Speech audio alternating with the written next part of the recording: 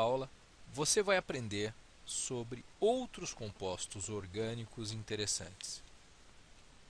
Em primeiro lugar, vamos lembrar quem são os elementos halogênios, que são os elementos da família 7A, na nomenclatura antiga da tabela periódica, e que são o flúor, cloro, bromo, iodo e astato.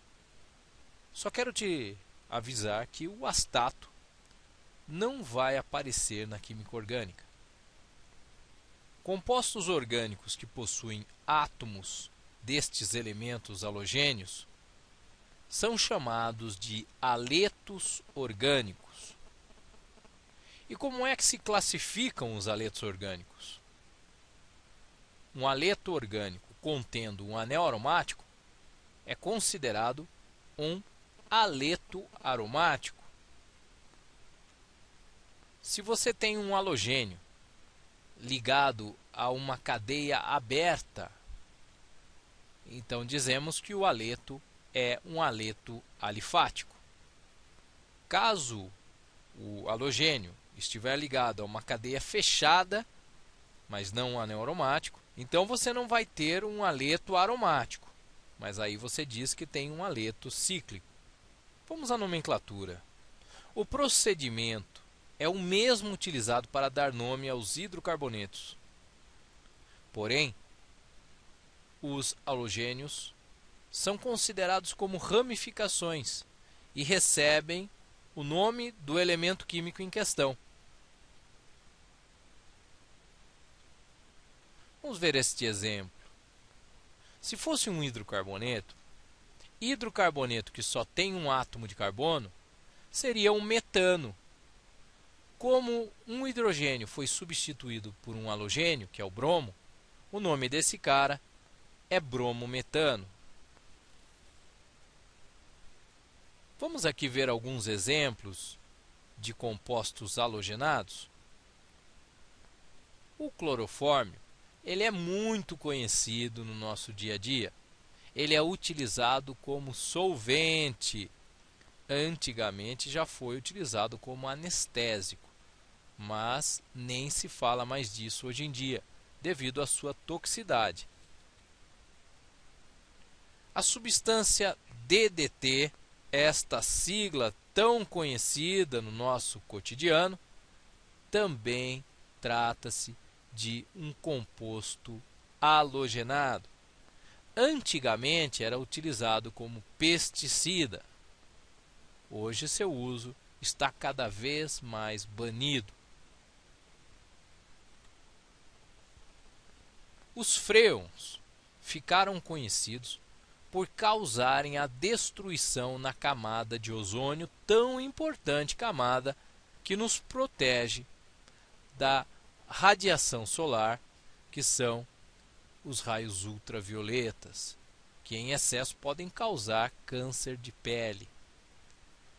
Então, hoje, os CFCs eles são banidos, seu uso está cada vez mais raro. Ele era utilizado para fins de refrigeração. Temos o cloreto de vinila. O cloreto de vinila em sua polimerização, forma o policloreto de vinila, famoso PVC, que todo mundo já ouviu falar.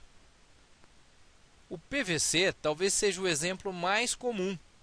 Ele é obtido, então, pela polimerização do cloreto de vinila. Quem é que nunca ouviu falar dos tubos de PVC. Para finalizar esta aula, vamos ver um exercício. Analise cada uma das alternativas abaixo e julgue cada uma delas. Aletos orgânicos possuem átomos de metais alcalinos?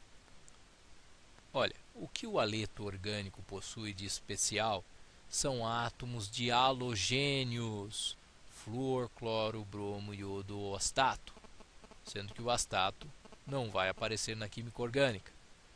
Portanto, isso não tem nada a ver com metais alcalinos, que são os elementos da família 1A da tabela periódica. Alternativa B. Aletos orgânicos. Contém halogênios, sim. Ligados a uma cadeia carbônica, ok. Esta é verdadeira. Afirmação C. Todos os aletos orgânicos contêm um átomo de bromo. Isso não é verdade.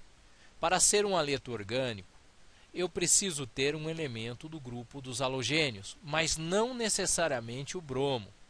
O grupo dos aletos orgânicos não é um grupo do bromo ou do cloro ou do iodo.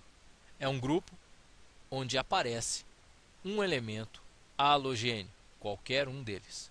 Portanto, a alternativa C está errada. Alternativa D. Não existem aletos orgânicos aromáticos. Isso é falso. Claro que existe. Você pode ter um anel aromático que sofre a substituição de um hidrogênio por um elemento halogênio. Isso é muito comum. Como, por exemplo, cloro, benzeno, bromo, benzeno e assim por diante. Alternativa E. Os aletos orgânicos causam efeito estufa? Olha, a alternativa E é falsa, porque quem está ligado ao efeito estufa são os gases estufa, fundamentalmente CO2, dióxido de carbono, e o metano, nada tendo a ver com os aletos orgânicos. Os aletos orgânicos podem estar ligados com outros problemas ambientais na agricultura. Pode estar ligado, se tomarmos como exemplo os CFCs, à destruição da camada de ozônio, mas não ao efeito estufa. Não confunda. A única destas alternativas que é correta é a letra B. Os aletos orgânicos contêm halogênios ligados a uma cadeia carbônica. Então, para relembrar, A é falsa, B verdadeira, C falsa, D falsa e E falsa. Bom estudo para você!